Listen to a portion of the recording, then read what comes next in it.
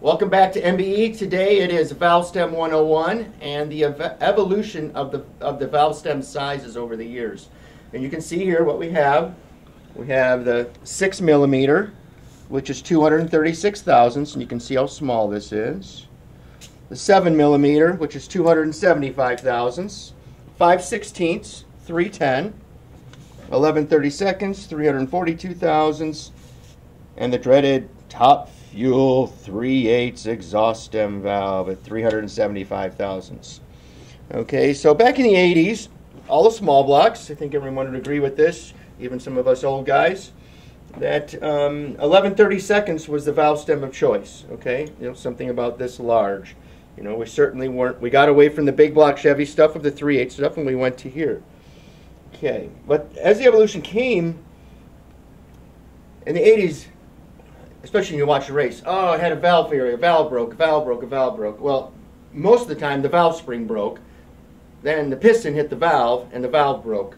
Um, I will be the first to tell you that valve failure 99% of the uh, of the time is not because of the valve company. It's because it's self-induced by the by the people who are over revving their engines, not checking lash, and just overall no maintenance. Okay, so we went from 11 30 seconds. We go, oh, the, the, the valve needs to be stronger. We keep breaking valves. They were thinking so.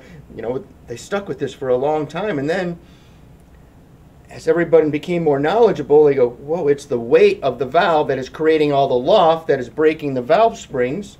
So now, okay, let's go to 5 16ths.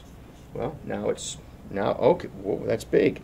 The, the reason why this is big, it's, it's a lot of grams. So if you go from 11 30 seconds in the same valve to 5 16ths, that's going to be about 10 grams. 10 grams doesn't sound very much, but 10 grams when you go from 90 grams to 100 grams is 11% more weight.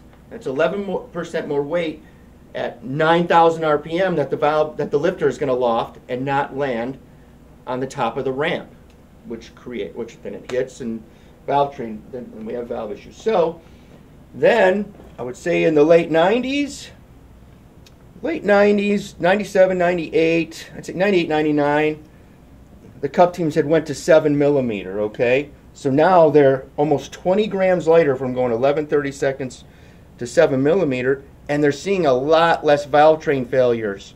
You know, I think we can all look back at those races, at least those of us that are 45 on up, and see that they had a lot of a lot of valve train failures, which they have almost none now. Okay, so then the cup teams, when they didn't have a gear rule, and they were actually racing, and they and they were. Uh, able to be creative and think and engineer, they went to over 10,000 RPM. Okay, when they went to that, a lot of the teams went to the six millimeter stem. Now, mind you, look at look at where it evolved from 1130 seconds to the six millimeter. Like scary. Okay, very scary. But this lived. These did not fail. Okay, now they have a valve weight rule so they don't need to run that. And they have a gear rule, so they don't run over 10,000 RPM. They run 9,000, which is ridiculous. And then we have, so they're back to doing 7 millimeters now. They don't have to do that. Okay, when, you, when we were talking about the dreaded top fuel valve, we have that here. Well, this is Inconel, okay? This thing weighs, this is ridiculous. Okay. So let's just go Inconel valve. This thing is obnoxious, okay? All right. And then you wonder, and, and this is a whole other thing of why the top fuel, all their failures are valve train related, not tune-up related for the most part. 160 grams. What's interesting, you have two valves that are very similar in sizes, okay? Very similar. This is a little longer. You know, it's very similar in sizes, okay? So, let's say if the if the length was the same, if we lowered this, this would be about 92 grams, okay? Then we go to the 6 millimeter stem. 67. Like, get some. Okay? That's serious. And that's the, that's the lofted weight that matters. Okay? So we'll put these back. Okay, so it goes back to the same thing that we've shown you in our in, in our valve train videos that we want to be able to control the loft of the lifter. And with weight we can do that. Not only do we save weight there though, when you run a smaller stem, you run a smaller lock.